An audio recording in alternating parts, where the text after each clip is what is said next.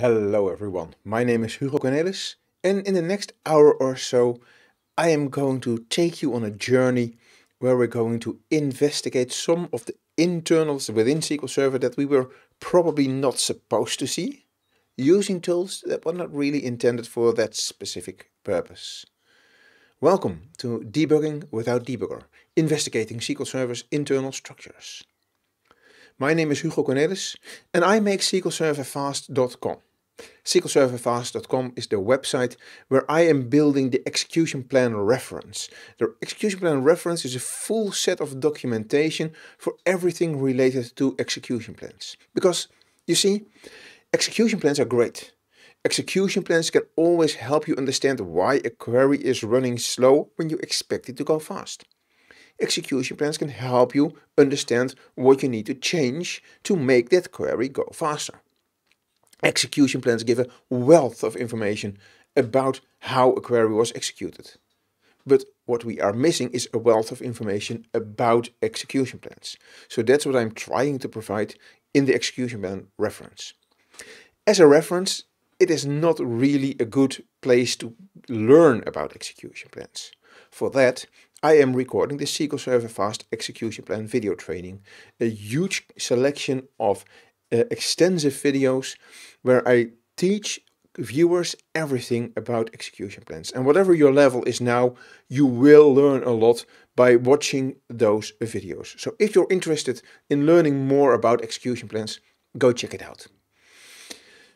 I also have other content on SQLServerFast.com, like my blog where I regularly write about usually execution plans, sometimes other stuff as well. I have longer articles there. And I have a section called resources where I have the slide deck and the demo code for the session you're about to see and for many other sessions. Just go to SQLServerFast.com, then click other presentations, presentation resources in the menu. Select one of the many presentations and download the slide deck and the demo code so you can play with it and do your own experiments and check the stuff that you wanted me to do but that I didn't. I do other stuff in the community. I do stuff for money. You don't really care about that. What you do care about is how to contact me. Because it is possible, after watching this video, that you have questions. This is not a live delivery where you can raise your hand and I will ask, uh, ask you what your question is and answer it. I would do that if this were a live delivery. But this is a recording. So if you have questions, just mail me, tweet me, and I will try to answer you as soon as possible. If you mail me and you don't get a reply within a week, send me a next mail. It's probably swamped between all the other stuff I get. I'm not deliberately ignoring you, I'm just sloppy. With that out of the way, welcome to the session. We are going to investigate the internals of an operator called Windows Spool. And before we do that, let's look at what the, what the Window Spool does. So what Window Spool does, it's an operator in execution plans that reads rows, stores them internally in a work table, and then the parent operator can receive multiple copies of those rows. Now that is not unique to Window Spool, In fact, all spool operators do that. Table spool, index spool do the same thing as Windows spool, but Windows spool has some specific uh, functionality within it to make it work for the windowing functions, the so-called over clause. You know what? Let's just jump into a demo and see it in action. so I'm going to go to the demo window and I will enable the live query statistics, the live execution plan and execute the query. And while it's running, I'll talk you through the execution plan, but first the query. So the query simply reads row from the reads data from the sales order detail table. This is one of the tables in the AdventureWorks sample database that uh, Microsoft makes available. You can just download it from Microsoft. And we just return some of the columns. And then we have one column which is the maximum carrier tracking number based on a window. This window is defined as the 10,000 preceding and the three following rows. So it's a total of 10,004 rows, but the current row is there as well. And preceding and following is based on an order by specification. So if you order the data on sales order ID, sales order detail ID, and then take the 10,000 preceding and the three following rows, you have the window of rows that each current row looks at to determine the maximum carrier tracking number. So this is not the maximum of the entire set, it's the maximum for each row for its window of rows. For those who don't know the over clause, you can specify a partition by clause as well, in which case it means for each partition you basically reset and you only look at the window in that specific partition. I didn't do that for this demo. Now, if you look at the execution plan, and I will start at the far right, execution plans can be read in multiple ways. In this case, I choose to follow the data, and following the data means start at the right. So I start at the far right, where you find the clustered index scan, and I hover it for the properties, and I will zoom in a bit, and then you will see that the ordered property is set to true. This means that the optimizer forces the uh, operator to return rows in the order in which they are logically defined by that index. And I happen to know that this index called PK sales order detail ID, well, long name, it's the primary key of the sales order detail table. I happen to know that if you read this order, you always get the data ordered by sales order ID, sales order detail ID. And it's no coincidence that it is this order. Whoops, that was the wrong key. It was, it's no coincidence that it's this order because the reason is by ordering the data this way, we can easily identify those windows because the rows are already in the proper order. SQL Server has to have the rows in this order for, to e even enable this windowing functionality. In this case, it can do this by reading from a clustered index scan with ordered. If that had not been possible, if I had chosen to order by something where there is no supporting index, SQL Server would have had to use a sort operator. Apart from the performance uh, consideration, which usually is that you prefer not to have a sort, in this specific case, I am trying to investigate stuff in TempDB. I want to look into the internals in TempDB, and the less messy clutter I have in TempDB, the better. A sort can spill to TempDB, so a sort can allocate stuff in TempDB, which is exactly the messy clutter I try to avoid. So that's why I deliberately used a sample where no sort is needed, because there is an index that can be read. Now, after reading data from that index, the data goes through a segment operator. And the segment operator is used to mark logical segments. Normally, if there were a partition by clause, this would mark a new segment for the start of each partition, so that other operators in the execution plan know, hey, we have a new partition here. In this case, there is no partition by. So why is the segment column there? Well, it's there, and I'll also show you that it's it helps to call it correctly, the group by, which defines the segment boundary, is empty. So the segment defines the entire data set as one single segment. As, which makes sense because there is no partitioning. So everything is one partition, one segment. So why is the segment column even there? Well, it's just technical. The next operator, sequence project, requires a segment uh, uh, column in its input. So it needs to have a segment column, even if it's logically not really needed. So it's just technical. The sequence project then adds an extra column to the data, and this extra column is a row number, as you see here. So this simply adds one extra column that order the numbers the rows 1 to, well, the total number of rows is 121,317.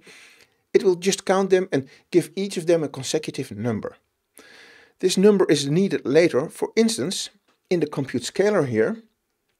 And the compute scalar adds two more computed columns. One of them is called top row number and is computed as the row number minus 10,000. That looks like 10,000 preceding.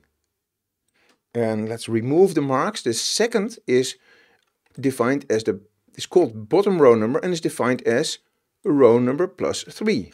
That is the 3 following. So now we start to see already how this all interacts. We see that the data is read in the correct order, then the rows are numbered, so they're each given a unique number. And then, based on that number, we compute the row number of the first row in the uh, window and the last row in the window. Then there's another segment column, and this segment column is in the plan for the same reason as the previous one. And why don't we simply reuse the previous segment column? Well, because Windows Spool just requires a segment column as its direct input. Segment columns are incredibly cheap, so it makes no sense for the optimizer team to do all kinds of optimizations to prevent a double segment column when those optimizations cost more than the extremely low overhead of that segment operator. So it's just this way. Technically, the operator would not be needed, but it's there. Now the window spool operator, if you look at the row count, you see that it is producing insane amounts of rows. And that's because how window spool works. What window spool does is all the rows it gets from its child, from this segment operator, are stored in this work table. And then for each row, the window spool operator will return that specific row. And then this entire window of 10,000 preceding up to three following rows. So the window spool returns 10,005 rows for each input row. That's why the number of input rows is 121,000. The number of output rows is in the millions. What window spool returns, if you look at the uh, output list, is a lot of data that you expect and then also a column called a window count 1010. And that's simply a number that goes up every time a new row plus window is output. So it outputs a current row plus the window that belongs to it with a number. Then it outputs the next row plus the window that belongs with that next row with a new number. That enables the stream aggregate to then, whoops, to then group by that number and reduce this entire set of rows back to one. So what's the use of having one row, exploding it into 10,005 rows and then aggregating it back to one? Well, the use is that now this stream aggregate can look, and I need to go to the defined values for that, can look at that window of 10,005 rows to determine the maximum carrier tracking number that we want to return for this over expression we have here. For all other columns it uses the any operator which simply uses the value from the first row because here we tell the operator just use any of them and it happens to be the first one. That's how any works. So that's how all this works we have some preparation steps to make sure that the rows have a number and that we know the number of the first and the last row in the window. Then the window spool stores it in a temporary work table, returns those rows multiple times so that each row gets its entire window of rows with it, and Stream Aggregate can then do the aggregation so that it determines the correct max track, uh, maximum of the carrier tracking number. Let's start investigating, because we were not here to talk about window spool. We were here to talk about investigating SQL Server's internal structures. So I want to know this work table, how is it stored exactly? And if you start by doing some internet searching, you will find very little information. What you will find is that if based on the text in the query, the number of rows can never exceed 10,000, so that's based on the numbers in between so many preceding and so many following, if that is the case, then Windows Spool will store its work table in memory. If it can be more than 10,000, it will store its rows on disk. And I want to investigate the on-disk version. That's why I used a window between 10,000 preceding and 3 following. That's a window of 10,004 rows, current row is included, which means it's more than 10,000 and it will be stored on disk. Now, when I want to investigate a work table, I need to overcome some problems. First of all, queries don't run as long as I want to. Queries run in a finite time. At one point they finish. And if there is a structure used internally as a work object by that query, SQL Server will of course not keep it allocated. As soon as that query is done, SQL Server realizes, I don't need this structure anymore, I'm going to release it and my investigation will hit a dead end and I need to restart the query and restart the investigation. Now, how much time do I need to investigate this? I mean, this is a one hour video, but of course I spent a lot of time figuring things out and I'm only showing you the end result. I had a lot of dead ends. I needed much more time than one hour and I didn't know in advance how much time I need. So no matter how long I make the query run, it can always be too short. If I let the query run for six hours, uh, turns out I need seven, then the structures are gone before I'm uh, done. And the problem is, the next time the query runs, I need to find the structures again.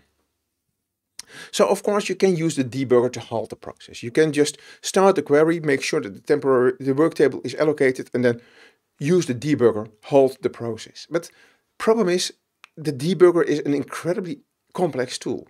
Some people can work with it, I'm not. I'm not smart enough to use the debugger.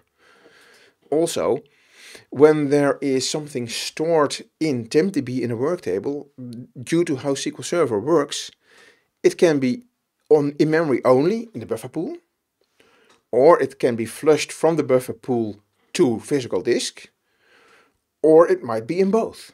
And they might even be different if the page is dirty. And if the SQL Server process is halted, I need to figure that out all by myself. So I need to figure out where in the buffer pool is the page stored, where on disk is the page stored, which version is correct. That's hard. If SQL Server's process is running, I can use the statement dbcc page. It's not a documented statement, but it's a quite well-known statement. It's often used for purposes like this.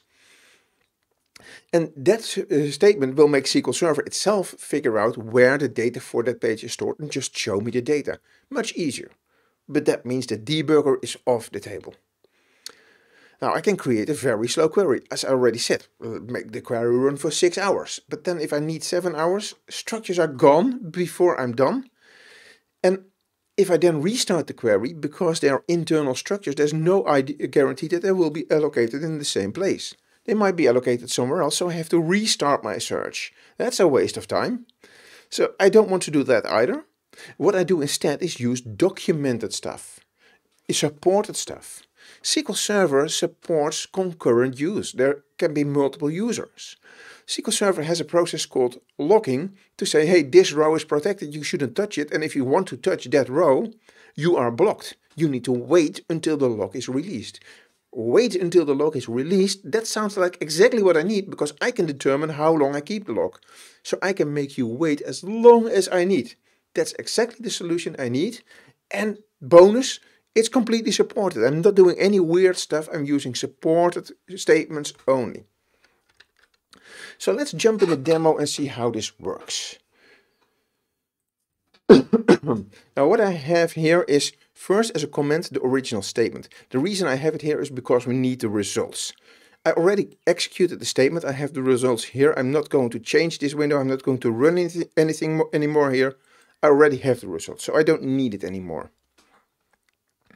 Then I have a bunch of code in the next commented section and I'm going to copy that and then open a new window and I'm going to paste it there. What this uh, code does is I'm going to create a table called block window spool because this table is used to block the progress in the window spool operator. This table has four columns and these four columns correspond exactly to the four columns in the output here. I checked the AdventureWorks schema, I checked the data types of all the columns, I checked the uniqueness rules, just to make sure that I know that these are the correct data types and I can store the output in those columns. And I also know that the output will be unique on the combination sales order ID, sales order detail ID. And that's important because I need a primary key or at least a unique index to uh, uh, do what I want to do. Now, I want to determine where I want the uh, execution to stop because I want the execution to run for a while. And then after we exceed the 10,000 rows, let's make sure that we have a full window. So I want to be past the first 10,000 rows. And let's say I want to go to, uh, that's a bit too far, go back a bit. This scrolling always takes a little while, but we're there. Let's say I want to stop at this row. So we have sales already 46,359 and sales order detail ID 10,000, 10,001. I think that's the one I have in my code. No, it's 10,000, 10,000. Sorry, I mean this. So we're going to stop at this row. So I take these two values. I don't care about the other values. I care about the values that are in this primary key. So I use those two values here. And because I start a transaction, then add data to a table and then this is commented out. I don't roll back or commit the transaction. I leave the transaction open. So at this point, we have a running transaction. It's not completed yet. That has data stored in this block window spool. Now I'm going to first check the execution plan that is used for this statement. So let's make sure that we're in the correct database. Execute. Now I'm going to select this statement I'm going to check the execution plan only. The reason I do that is because adding the insert can affect the execution plan. Sometimes SQL Server realizes, oh, if I do another execution plan, so I get the rows in another order, then I have better uh, performance.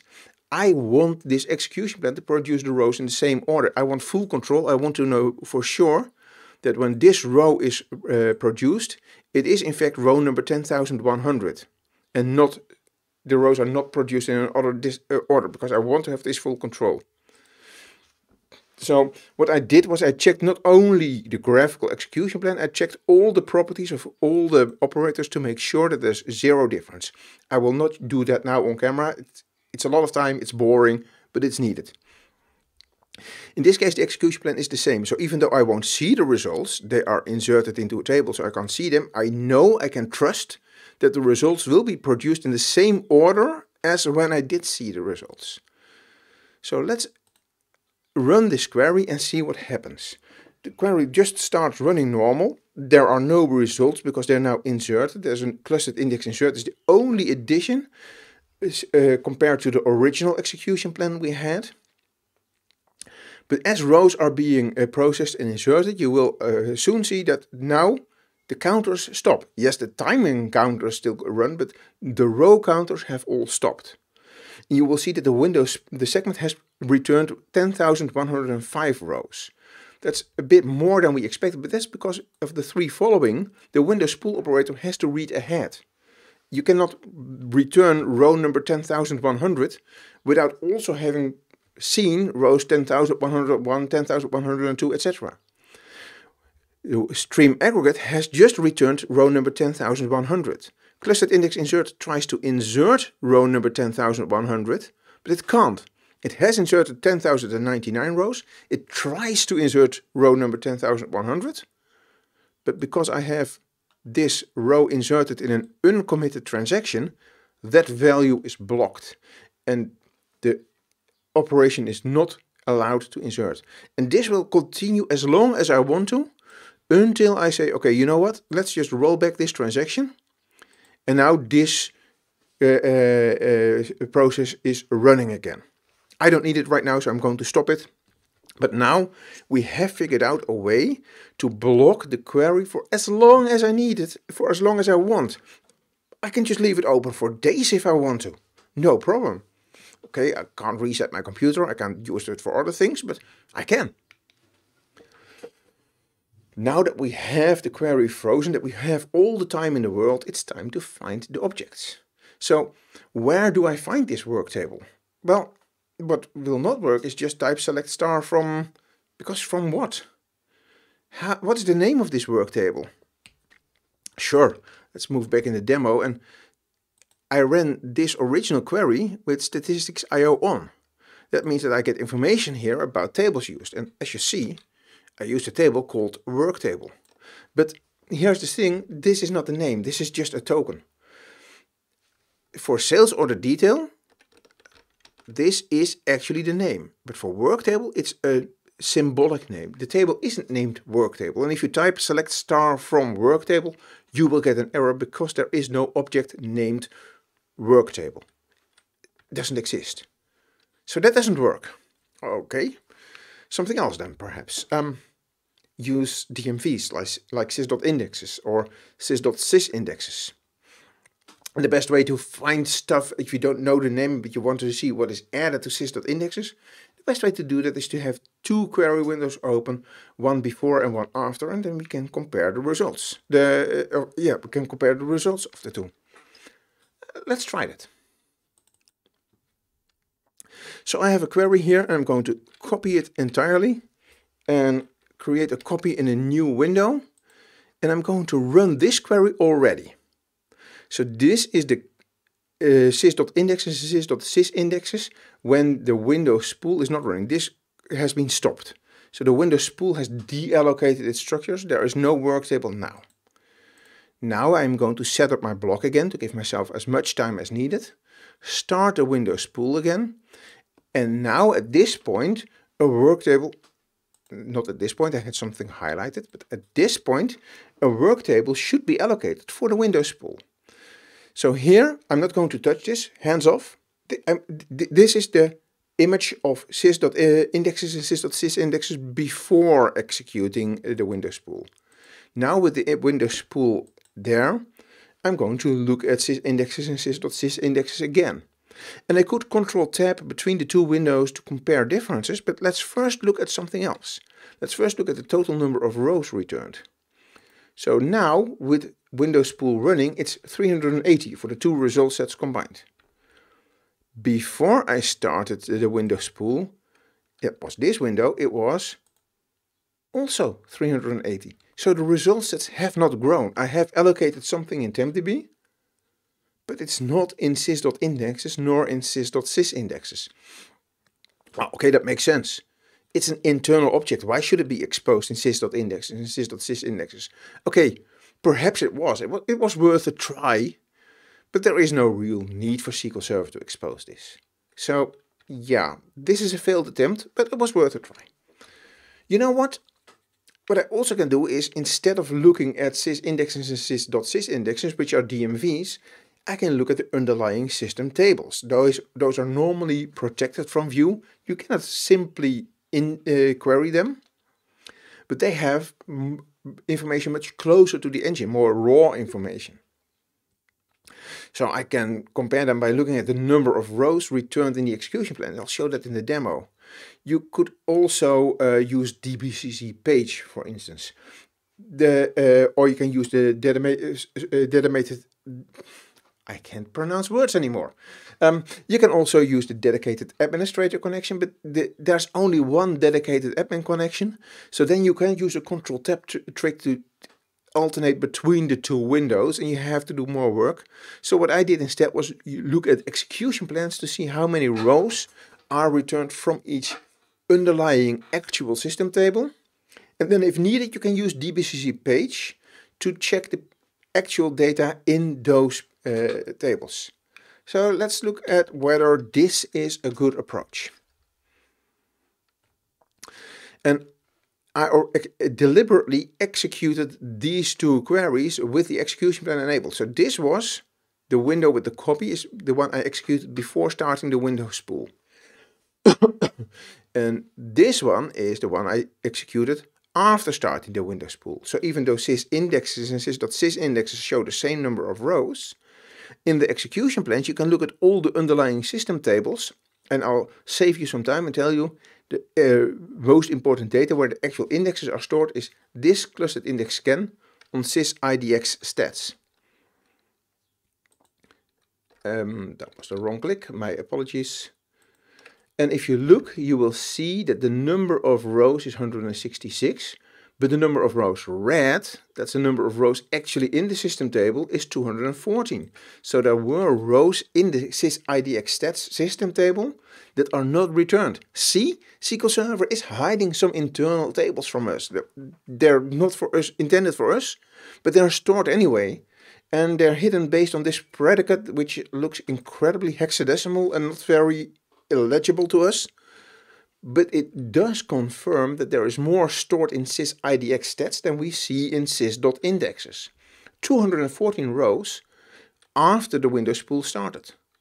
And before the Windows spool started, there were also 214 rows. And yes, when I investigated this, I did more work. I actually did go through to DBCC page to look at the actual data within sysidx stats to make extra sure that I wasn't overlooking something.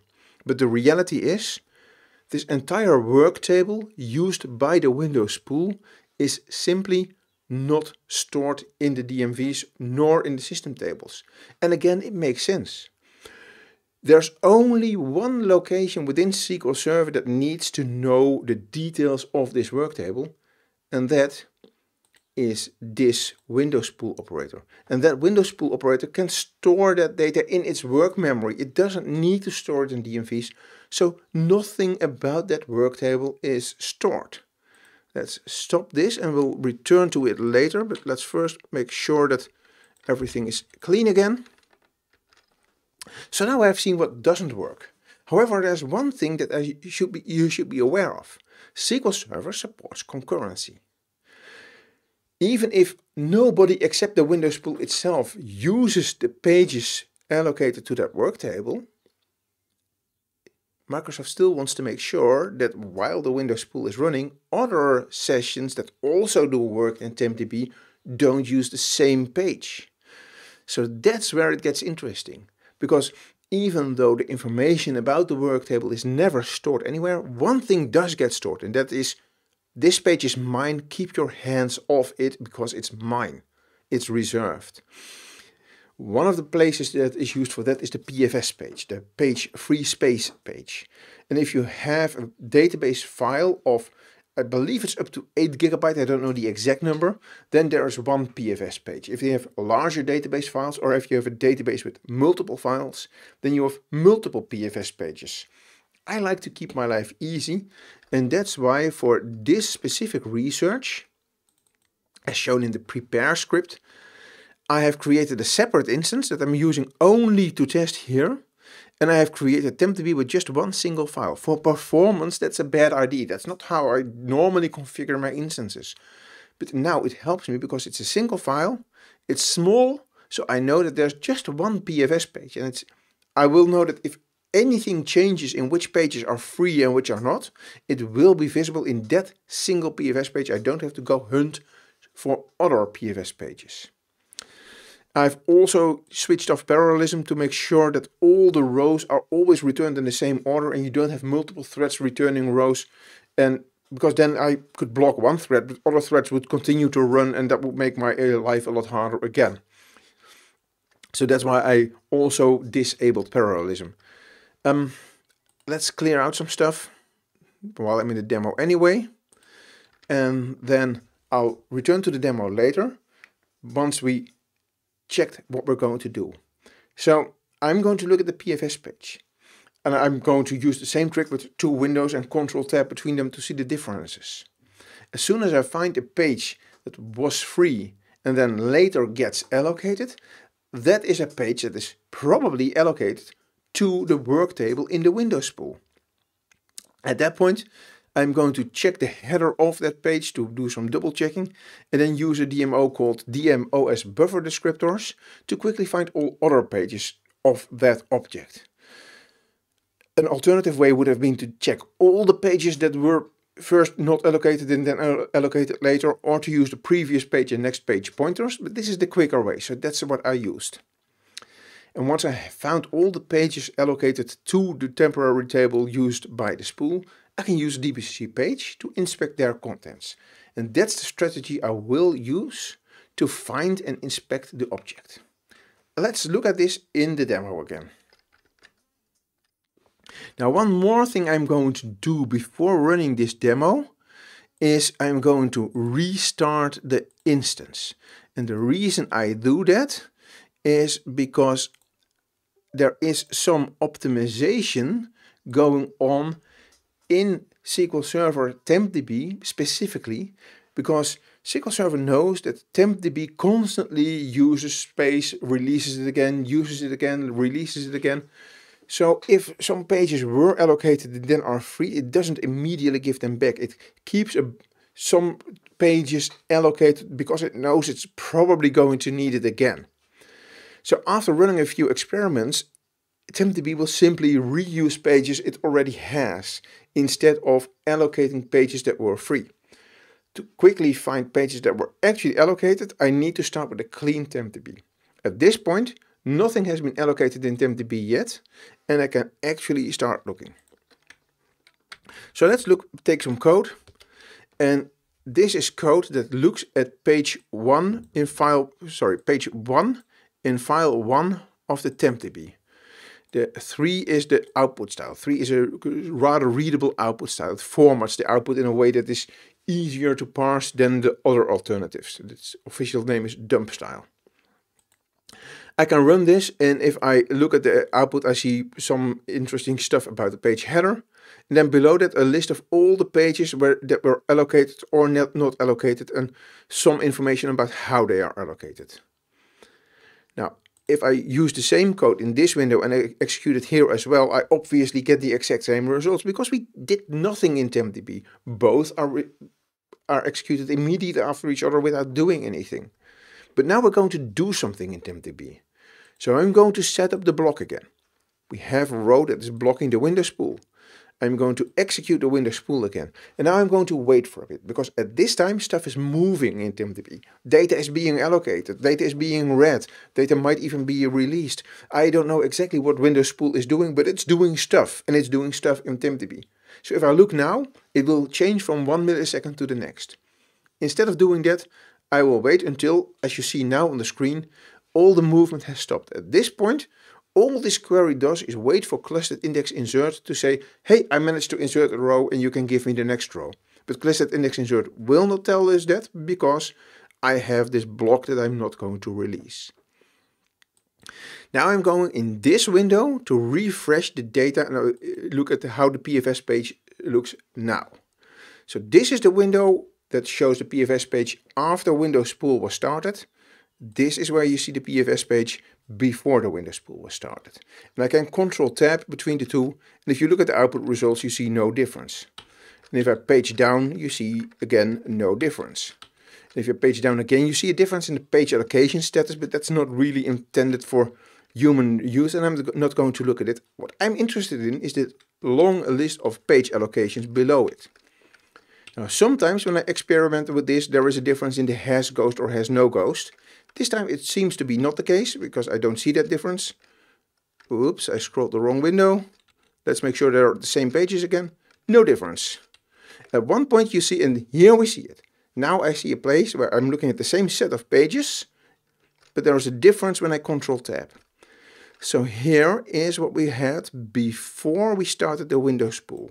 Page 125 is allocated, 126 and 127 are both not allocated. Then I started the window spool and now 125 and 126 are both allocated. 127 still isn't. So the difference is in page 126. This is one page and if I scroll further there will be more but I have an easier way to find them. But I now know that at least page 126 was allocated when I started the window spool. That doesn't make it 100% sure that it is for the window spool, but it makes it very likely. So I'm plopping 126 in the DBCC page to check the uh, contents. And I'm using dump style 1 because I'm at this point only looking at the page header. And what I want to see in the page header is first the object ID. The object ID is normally a positive number that corresponds to some one or, or an object in the sys.objects table. Here it's a negative number and that only happens for internal objects that are not official, officially documented in the objects table. So here we have a confirmation that this page belongs to something that is an internal object and not a normal table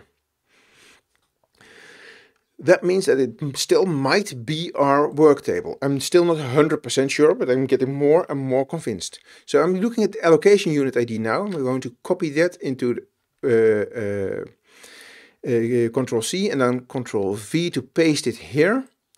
And now I can run this query to find all the pages that have the same allocation unit. This is the fastest way. There are other ways, but this is the fastest way to find all pages that have the same allocation unit with their page type and some other information. And I see an index page, an IAM page and a lot of data pages. And if I scroll down, you will see that the rest is all data pages. As one of my experiments, I've done the same after letting the window spool run for a much longer time, after process, having the process 100,000 pages. At that point there were way more pages here, so that shows that all the data read is stored in this work table. It doesn't release data that's not needed anymore. Technically it only needs the last 10,000 rows, but it can store up to 100,000 rows or more if you use a larger set. At that point you also get multiple index pages, because this data is effectively a B tree. Good. We have a B tree. There's more confirmation of that later. I'm not going to point it out, but I had a lot of things confirm that this is a B tree. This is a relatively small B tree with just one index page, which is the root, and a bunch of data pages. If I have more data, there will be more index pages. The root page is at page 369. So I'm going to copy that, paste it here, and check the data on this page. And for the record, the reason I use dump style 1 here is because I have to. Normally, when I check data pages, I use dump style 3. If I do that here, I get some header information and then if I scroll down, I get an error message. Dump style 3 is not possible. That's because this page is allocated to an internal object that is not documented in the sys.indexes table, uh, tables. DBCC page uses sys.indexes for the formatting for dump style 3. So if that information is not available, dump style 3 doesn't work. That's, that's why I have to use dump style 1. Dump style 1 does mean that the data will be harder to read. This is all we get, hexadecimal data. And you have to know exactly what all this means. Well, the good news is, I know what all this means. I have read this book by Karen, uh, Kalen Delaney. It's the SQL Server 2005 version. I probably should buy a new version one of these days. But her description of how the rows are stored on pages is still accurate even on SQL Server 2019. So I use the information in that book to help me understand the data that is here. And one of the things that I noticed that I happen to know is these two bytes here are a, uh, uh, a pointer to a file. Now TempDB in my sample database only has one file, so obviously that has to be the number one. These numbers are always read in a right to left version byte by byte. So you read it as 0, 0, 0, 1. And that is the number 1. The four bytes before that are therefore read as 0, 0, 0, 0, 0, 1, 7, 0. Hexadecimal 170. Now I'm going to bring up a calculator, put it to hexadecimal mode, and 170 is decimal 368. So what I see here is that in this index row, there is a pointer. We have data on a page number, what was the number again? 368. Now double check, run this query again. 368 is indeed a page that's also allocated to this object. So I didn't make an error, probably. Let's look at that page, 368. And again, I need to use dump style 1. Dump style 3 here doesn't give an error, it simply gives nothing, even though there is data there, which is even more confusing than an error. Dump style 1 shows me all the data that is there. This is one of the many pages in the work table, and this is one of the rows. And when I first saw this, I got very excited. And I'll tell you why. I got excited when I saw 4911-403C-98. Why this, does this information make me excited? Because I had looked at the results of the query before and when I go to the first row in the results and then look at its carrier tracking number, that's 4911-403C-98. That's the same data we see here, 4911-403C-98. We have here the carrier tracking number of the first row in our dataset. So now I know for sure that I have found data that belongs to this work table. I have found the work table I was looking for. I was not supposed to find this. SQL Server tries to make it hard for me, but I managed to get there. That made me very happy. But it was not yet the end of my journey. So let's return to the presentation and look at what I did next. So I now have found an index page, in this case one, if I let the query run longer there will be more. I found lots of data pages and on those data pages I have found the data that is stored for the work table. But how exactly? What is the structure? How is this data stored? Well, before diving into all that hexadecimal garbage, let's think about what we expect.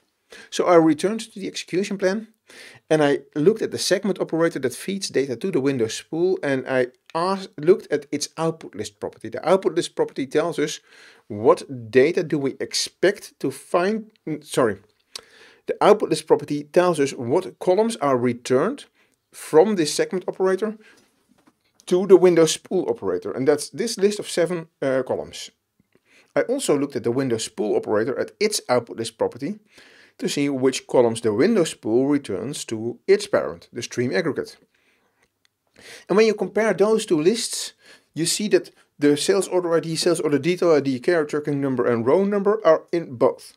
So it makes sense that those are all stored in the work table. Logical. I mean, they get in, they get out, they are stored somewhere. That's what the work table is for. Same, uh, same for segment 1009. That's also a column that's passed into and returned from the window spool. So it makes sense that it is stored. Top row number and bottom row number are uh, presented by segments to Window Spool but are not returned. But based on how Window Spool works, I would expect those in the work table as well. Window count 1010 is produced by the Window Spool as it returns rows. And based on how it works, I personally did not expect this column to be in the work table. So my expectation is the seven columns, sales order ID, sales order detail ID, carrier tracking number, row number, top row number, bottom row number and segment. Of course, that's an expectation. I can be wrong, but it helps to know what we're looking for to find either a confirmation or, okay, we found something else and then we need to figure out why my expectation was wrong. It, it does give me something to look out for because now I know what data I'm looking for. And then I started reading data. Like I said, inside Microsoft SQL Server 2005, the storage engine written, uh, written by Kalen Delaney, or any of our other books or other books, there is lots of documentation about how to read DBCC page output. This is not something you do on a daily basis. It's probably something you never do on your normal work. But if you are investigating internals, information like that helps. So I started with the index page. And here you see a screenshot of one of the earlier times I did this, it was a different run at a different time. Data was found on different pages. And on the index rows, that means that you find different data there because index rows have pointers to other pages. And if those other pages are allocated at a different location, then those pointers change. So these are not the same values you just saw uh, in the demo, but it's another time I ran the same queries. So the first byte in an index uh, row is always a status byte and the value 06, you can just look it up in the, uh, in the documentation, means this is an index row and there is no null bitmap. DBCC page also tells us that because it says here it's an index record and there is no null bitmap. But even if that were not, uh, uh you can now verify that indeed the 06 ma uh, matches. And as I also already said, I in the index page you find at this specific location the pointer to the file number and the page number where a row is where a, a page is stored. And that page is the page that starts with well not this value. In a B-tree index on every index level on the first page in that level on the first row the index key is unused. And when SQL Server doesn't use data, it doesn't bother to initialize it. So whatever garbage was in that location on disk or in memory when this page was allocated is left unchanged. The bytes are reserved because it's a fixed length data, uh, fixed length field, but there's nothing there. It's just whatever garbage is there. This value is never used because it's the first entry on the first page of a level. If you go to the next index row, here the status byte is 16, meaning it's an index row with a null bitmap. And again, DBCC page tells us that. Index record, null bitmap. And here you see also a pointer to, in this case, file number 1, page number 282. And we have an actual value here saying that on page 282, the first row will have the index value 113 decimal. 7, 7 1 hexadecimal. Also, because there is a, null bitmap, we find the number of columns as 2 bytes at the end and the null bitmap itself. Well, there's one column here is not null and we already know that because the value is 113. Then finally for the last, for the third row on this screenshot, we have something similar. The, we have page 283 starting with index key 225. And I checked some of those pages and they did indeed start with those values. So it's all still a very normal B-tree index. Let's now look at the data page. The data page is much more interesting because that's where the data is stored. Well, the index page was interesting as well because it keeps confirming me that this work table is created as a normal B-tree index. It's not using specific structures for work tables only. it's using a B tree to store data. But the data stored is also interesting. So here we have a screenshot of some of the data on such a page. The same one we saw in the demo, the first page.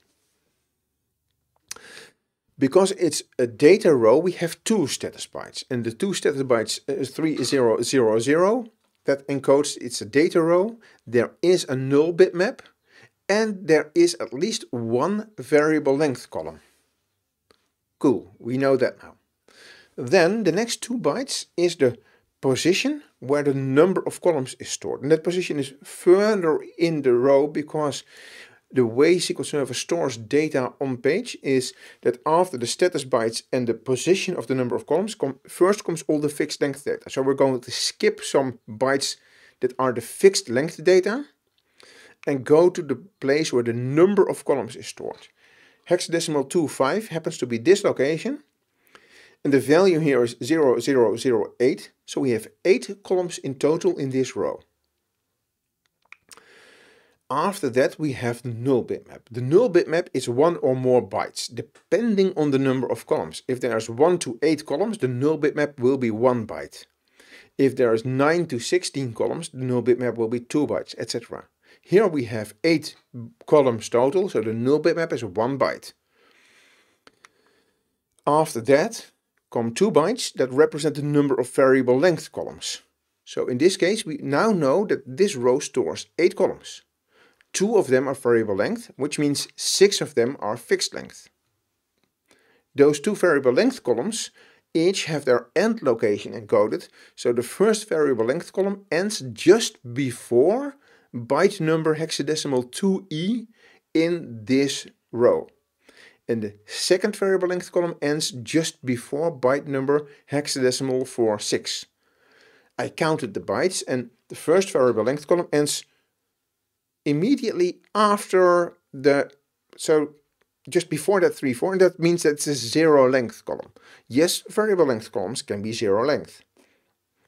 Obviously, if it's zero length, then the content is empty and it's a bit harder to understand the data that's there. So at least for this row, the variable length column is very hard to decode because it's empty.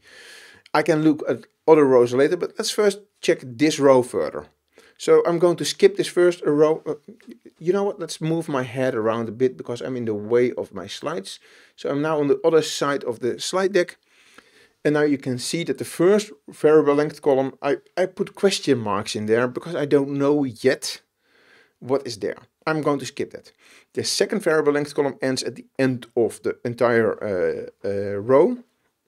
And we already saw in the ASCII representation on the right of this data that this is the carrier tracking number, an n varchar column, which is where there's two bytes for each character. So we found the carrier tracking number.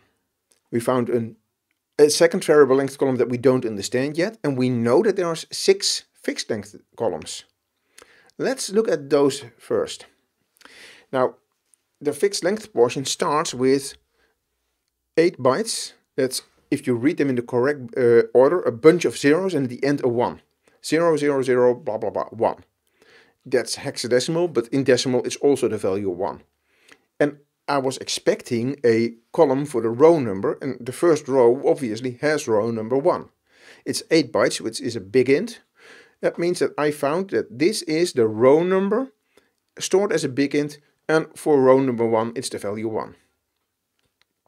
Now, then I cheated a bit. Instead of trying to understand what 8BAA was, I did something else. Uh, I went to the data. So let's go to the data and I expect at least this value 43659 is stored. So I copy this value into a calculator, decimal, and then I say, what is the hexadecimal version? It's AA8B. Well, if you know that you're looking for AA8B, then it's quite simple to understand that these four bytes are the integer AA8B. So that's how I found that this should be the sales order ID. Cool. Then after that is four more bytes for the sales order detail ID. And I knew that the value was 1 in that integer as well, so that was also easy to find. And then I ran into a real head scratcher because after that, if you look at the screen, you see the value 05F1D8 and I looked at it and it didn't make sense. And I looked at it a bit more and it still didn't make sense. And I, I ran into a wall there. So what I then did was I know that there's six columns total in the fixed length portion. I know the starting point. I also know the ending point. So let's work backwards from the end of the fixed data. And the end of the fixed data, there's eight bytes there that are very easily recognized as the number four. And because I already checked the execution plan, I know that there's a bottom row number column that's computed as row number plus three. Well, that's four. So these are the eight bytes that store the bottom row number. And once you are there, you realize that just before that sixth column, so in the fifth column, there's a lot of F's. And in the hexadecimal representation of an integer, if there's a lot of F's, it's a negative number. Well, surprise, we needed a negative number because we also have the column called top row number, which is computed as row number minus 10,000. For row number 1, that's minus 9,999. I use my calculator, minus 9,999 in hexadecimal, using uh, um, the normal notation with uh, uh, one reverse, uh, I, I, forget the name, but using the normal encoding of integers in hexadecimal minus 999 is represented as a bunch of f's and then d8f1. And that's exactly what I found in this row. So now I have found that it made sense that I didn't understand 05 F1 D8 because it's just a part of two, uh, one column plus another column. And the only missing column is one single byte. And that single byte is the only thing that's still giving me a headache. And on the first row you see the value is 05. And on the second row you see the value is FE. And mm, it's hard to relate that to the data. I didn't, I was unable to make sense of it. So I ran a bunch of experiments and I stopped for the day and I restarted the next day. And I, at one point I realized something. There's something weird with that weird mysterious single byte column. And that is if I run the same code multiple times, it's not always the same data. Now for an index page, that makes sense. For an index page, the data can be different because index pages point to other pages and data is not always allocated in the same location. And if it's allocated somewhere else, then the pointer needs to change.